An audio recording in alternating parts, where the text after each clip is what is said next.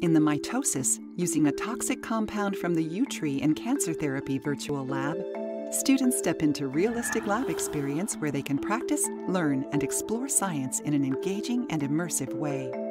These simulations will help students understand and visualize basic concepts about eukaryotic cells, such as main cellular components and DNA packaging by immersive animations.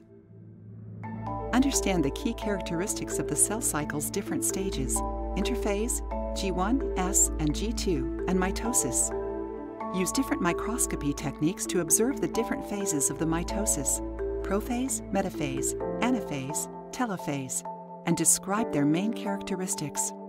Explain the cell cycle checkpoints and name the molecules that control them, cyclins and cyclin dependent kinases and their function. Describe the main differences between mitosis and meiosis. Students will use techniques such as light microscopy, fluorescence microscopy, sample preparation,